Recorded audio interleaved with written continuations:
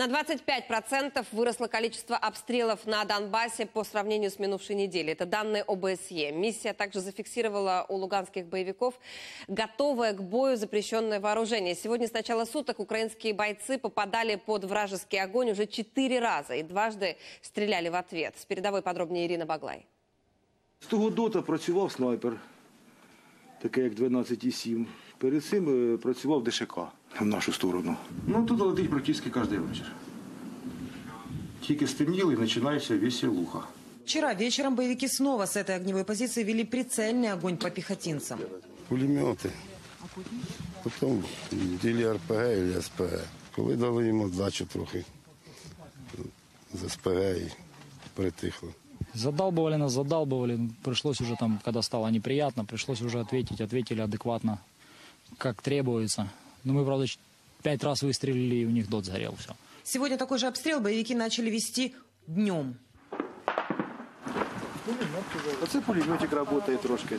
Ну, бит должен быть, а вони стріляють.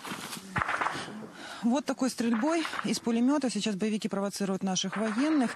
И под этот шум может работать и снайпер. Доходим до наблюдательного поста, и там командиру подтверждают, огонь засекли со стороны захваченного боевиками села Жабуньки. Вот это когда мы шли, вот эта стрельба, это был снайпер. Постреливают чуть-чуть. Нормально, чуть можно. Это что?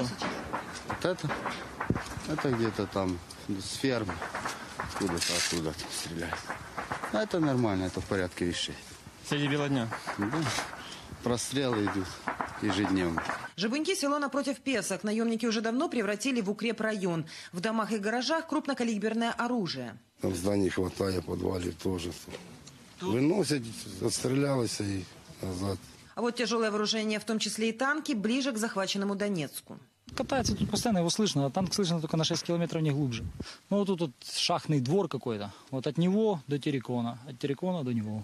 Они бьют из глубины, но слышно, как по Авдеевке лупашат. Во время последнего такого обстрела и получил ранение боец на рубежах под Ясиноватой.